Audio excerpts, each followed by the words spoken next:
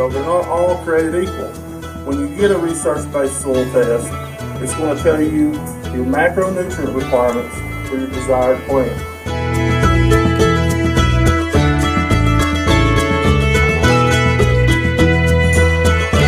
Mulches are great. Mulches are good things, but a lot of times you'll see mulch right all the way up to the bark, won't you? Do not do that because that harbors insects and that harbors uh, excess water.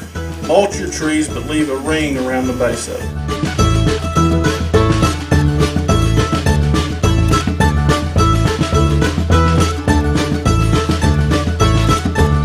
growing your own garden and uh, having your own orchard or your own, you know, fruit trees and stuff is half of the plate is fruits and vegetables.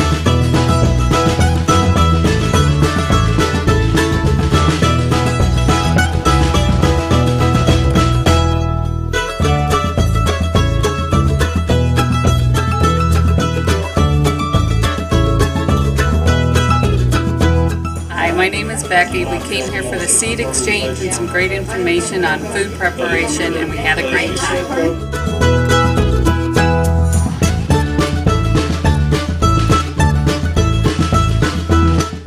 We're just beginning our gardening careers, so we came into the library this morning to enjoy this event.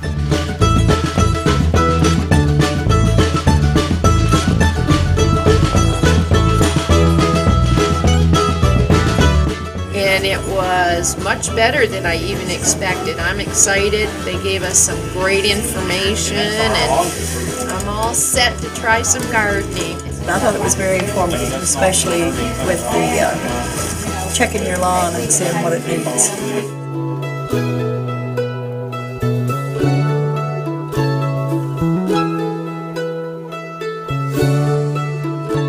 Gardening and anything that you want to do at home, homesteading, and anything like that.